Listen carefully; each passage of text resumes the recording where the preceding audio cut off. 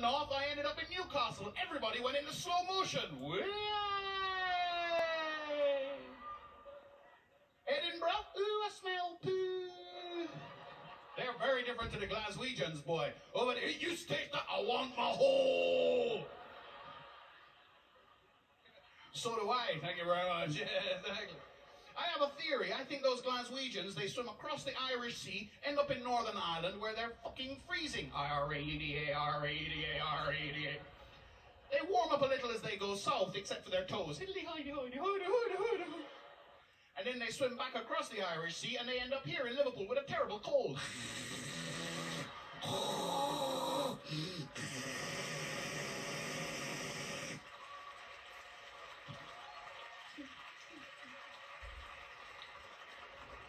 Of course, they then lose all their money and move to Manchester. Oh,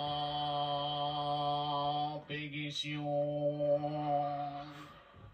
I'll be honest, you know the people I feel sorry for? The Welsh. They sound like a bouncy castle losing air. Woo-wee. And then they cross the Severn Bridge and they all turn into pirates. All right, my babber. And then everybody from all over all moved to one part of England, the best mannered, most well behaved part of England, London. Wanker!